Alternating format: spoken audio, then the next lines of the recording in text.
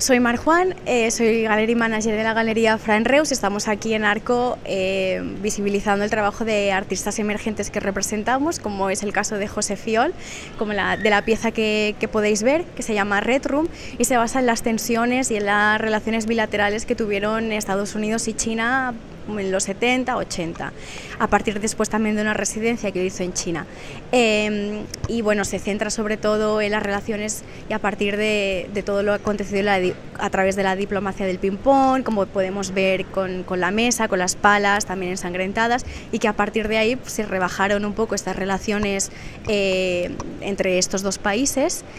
y se pudo Nixon poder eh, visitar China después de muchos años de tensión. Y como podemos ver, eh, la señora representada es su mujer, eh, mirando pues el, el retrato de, Mao de Warhol. Entonces, todo dentro también de la Red Room de Twin Peaks, en este espacio de ensoñación y de relación de conceptos. También el mismo artista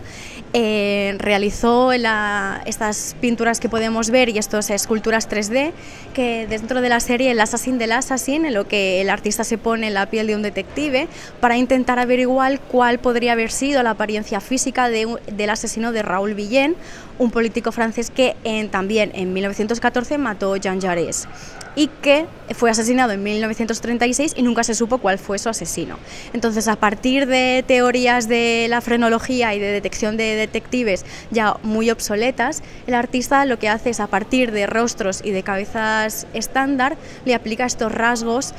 eh, que estas teorías decían que las personas que los tenían eran más propensas a delinquir y a ser criminales. Luego del, eh, de otro artista también que representamos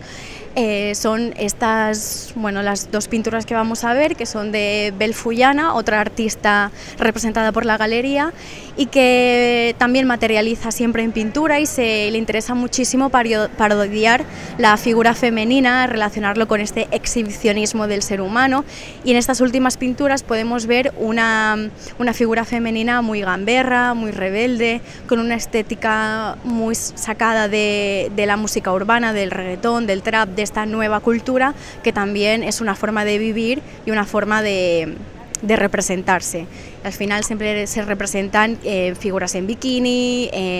con tatuajes, con armas, en posiciones muy, muy extravagantes y también muy gamberras.